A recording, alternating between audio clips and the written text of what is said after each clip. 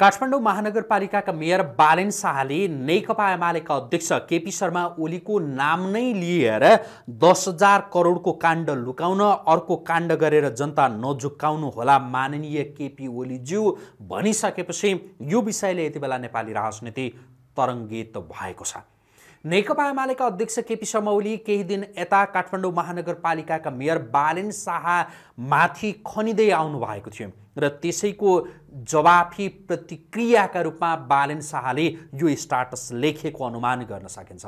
अब सबैभन्दा सुरुमा चाहिँ काठमाडौँ महानगरपालिकाका मेयर बालेन शाहले लेख्नु भएको स्टाटस हामी प्रस्तुत गर्छौँ। त्यसपछि एमाले अध्यक्ष केपी शर्मा ओलीले के के भन्नुभएको थियो बालेन शाहलाई भन्ने विषय यहाँहरूका माझमा प्रस्तुत गर्छौँ र यी आरोप प्रत्यारोपको अन्तरीय के हो भन्ने विषयमा हामी केही बेर चर्चा गर्छौँ। सबैभन्दा सुरुमा चाहिँ काठमाडौँ महानगरपालिकाका मेयर बालेन शाहले लेख्नु भएको स्टाटस जस्ताको तस्तै। दस हजार करोडको काण्ड लुकाउन अर्को काण्ड गरेर जनता नझुक्काउनु होला माननीय केपी ओलीज्यू।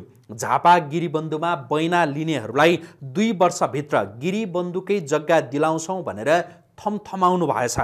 गिरीबन्धु चिया बगानको जग्गामा गर्न खोजेको नीतिगत घोटालामा तपाईँको सहभागिताको इतिहास हेर्दा त्यहाँ तपाईँलाई नबनी पात पनि हल्लन्छ भन्ने लाग्दैन।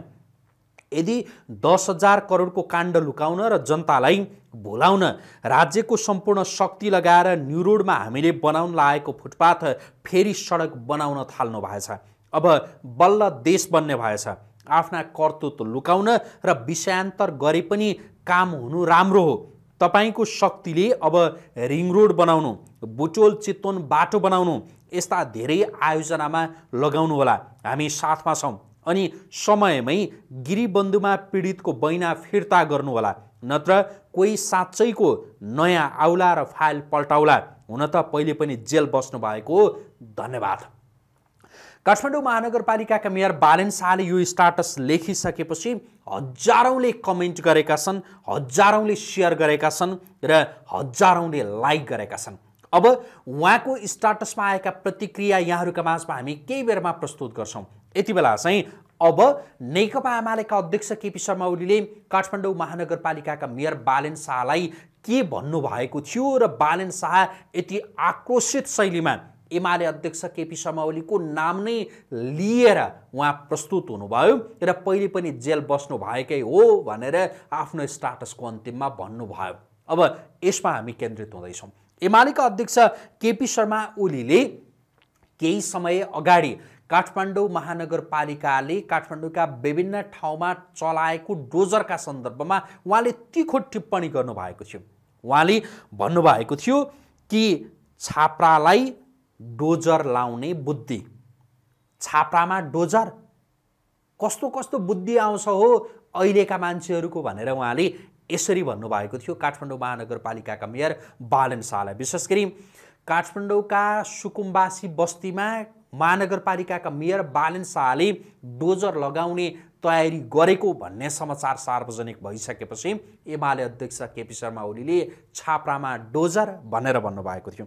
सँगसँगै उहाँले कर्कलाको पातलाई बन्चरो भनेर पनि भन्नुभएको थियो। कर्कलाको पात ढाल्नका लागि बन्चरो हान्ने भनेर यसरी मेयर बालेन शाहलाई व्यङ्ग्य हान्नुभएको थियो।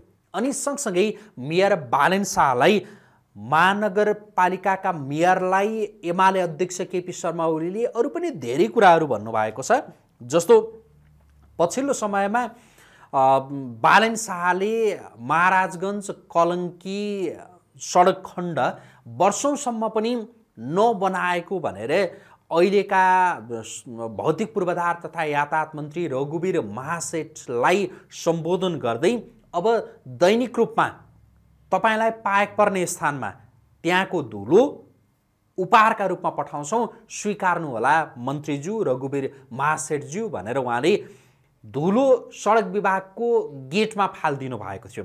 रघुवीर महासेठ एमालेका नेता हुनुहुन्छ। एमालेका तर्फबाट मन्त्री भन्नु बन्नुभएका रघुवीर महासेठलाई सम्बोधन गरेर धुलो उपहार उहाँले पठाइसकेपछि यसले त्यति बेला राजनीति तरङ्गित मात्रै भएन। एमाले अध्यक्ष केपी शर्मा ओलीको अर्को तिखो त्यो व्यङ्ग्य आयो।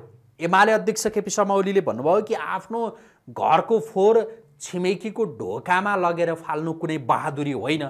भनेर उहाँले भनिदिनु भयो जब एमाले अध्यक्ष केपी शर्मा ओलीले यो शब्द प्रयोग गर्नुभयो कुनै बहादुरी होइन भनेर त्यसपछि महानगरपालिकाका मेयर बालेन शाहले एमाले अध्यक्ष केपी शर्मा ओलीको नाम नै तोकेर सामाजिक सञ्जालमा लामो स्टाटस लेख्नुभयो जुन स्टाटस यहाँहरूले अघि सुनिहाल्नु भयो एमाले अध्यक्ष केपी शर्मा ओलीले आफ्नो पार्टीका तर्फबाट मन्त्री बनेका रघुवीर महासेठलाई सम्झाउनु पर्नेमा उल्टै उहाँ नै फरक ढङ्गले प्रस्तुत भइसकेपछि मेयर बालेन शाह बिस्किएको भनेर केहीले भनिरहेका छन्।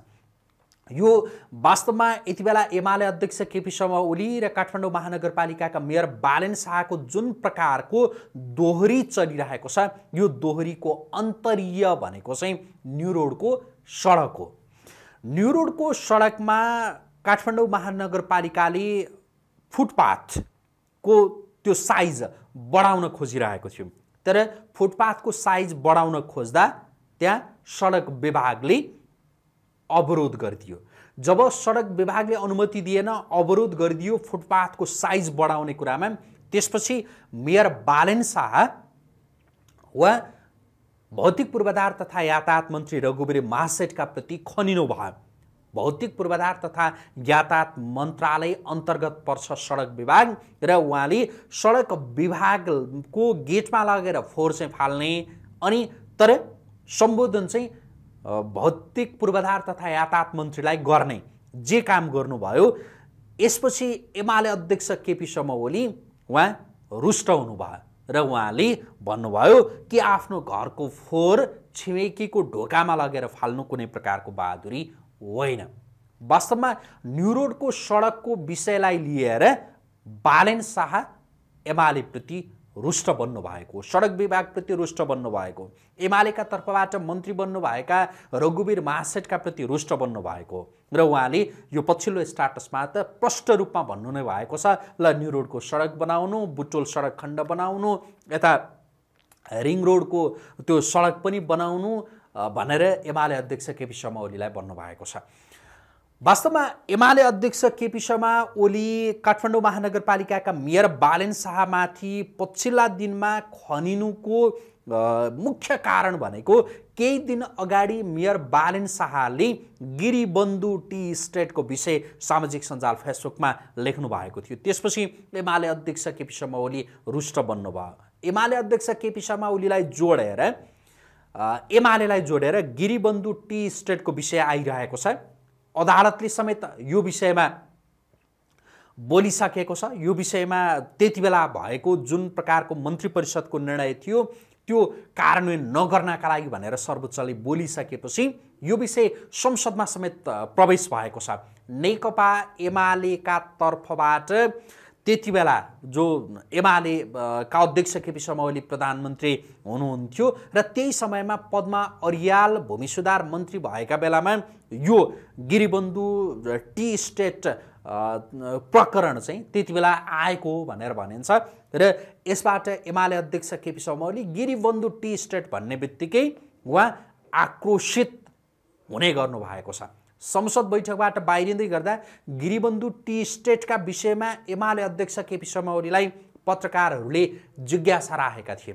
केही दिन अगाडि तपाईँहरूको मस्तिष्कमा तपाईँहरूको सम्झनामा यदि त्यो दृश्य छ भनेदेखि यसो सम्झनुहोस् त। त्यति बेला एमाले अध्यक्ष केपी शर्मा ओलीले त्यो प्रश्न गर्ने पत्रकारलाई उहाँले के भन्नुभएको थियो?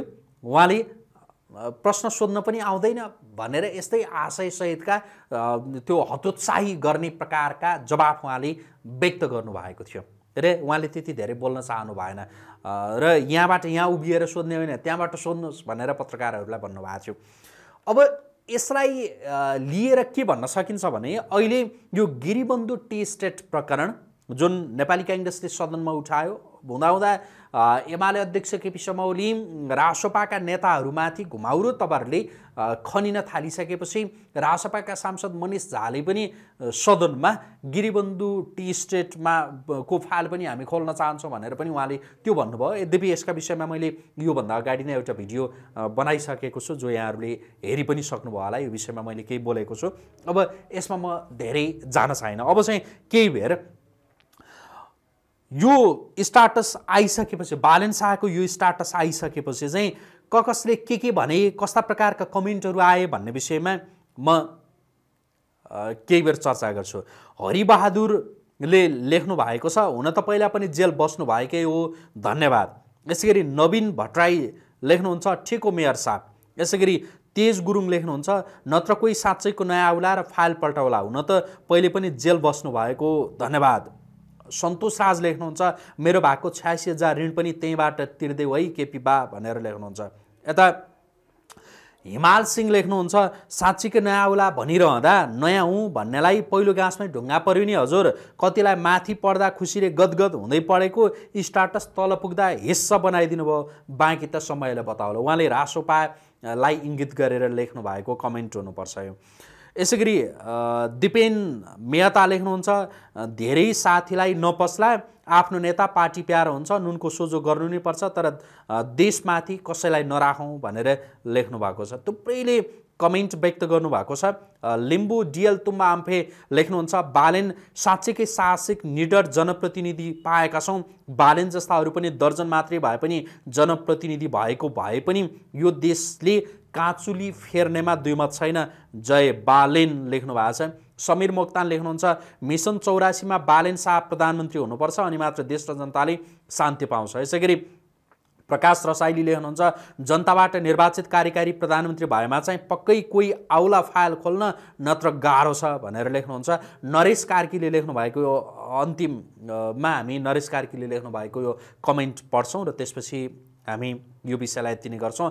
उहाँ लेख्नुहुन्छ नयाँको खोल ओढेको भनेर भनिरहनु नपर्ला फेरि पनि भन्छु नयाँ हो भन्दैमा नजुकिनु हुन सबै साथीभाइमा अनुरोध छ फेरि पछुताउनु पर्ला। यो पनि रासोपा इङ्गित कमेन्ट हुनुपर्छ। अहिले काठमाडौँ महानगरपालिकाका मेयर बालिन शाह नेकपा एमालेका अध्यक्ष केपी शर्मा ओलीप्रति जसरी खनिनु भएको छ यस पछि नेकपा एमालेका विभिन्न नेताहरूका पनि प्रतिक्रियाहरू आउन सुरु भइसकेका छन्। यद्यपि हामीले यो भिडियो सामग्री तयार गर्दै गर्दाका बखतसम्म नेकपा एमालेका माथिल्लो तहका नेताहरूको औपचारिक रूपमा त्यस्तो प्र प्रतिक्रिया आइसकेको छैन। कतिपय नेताहरूसँग हामीले सोद्धाखेरि यो कमेन्ट गर्न लायक विषय नै होइन। बालेन शाहका विषयमा पनि कमेन्ट गरेर बस्ने। बालेन शाहले कहिले के बोल्नुहुन्छ कहिले के बोल्नुहुन्छ उहाँका विषयमा पनि कमेन्ट गरेर बस्ने भनेर भन्नुभएको थियो। यद्यपि अब उहाँहरूको पनि प्रतिक्रिया आउला उहाँहरूको प्रतिक्रिया आइसकेपछि हामी यहाँहरूको माझमा उपस्थित हुनेछौँ। उहाँहरूको प्रतिक्रिया लिने हामी त्यो प्रयास पनि गर्नेछौँ। यहाँहरूलाई चाहिँ काठमाडौँ महानगरपालिकाका मेयर बालेन शाहले लेख्नु भएको स्टाटस कस्तो लाग्यो? अनि नेकपा एमालेका अध्यक्ष केपी शर्मा ओलीले केही दिन यता मेयर बालेन शाहका प्रति उहाँलाई लक्षित गरेर बोल्नुभएका ती विषयहरू कस्तो लाग्यो? कमेन्ट गर्न नभुल्नु होला यही आग्रहका साथ अहिलेका लागि हामी बिदा हुन्छौँ। यहाँहरूले हामीलाई हेरिदिनु भयो सुनिदिनु भयो। यसका लागि धेरै धेरै धन्यवाद। नमस्कार।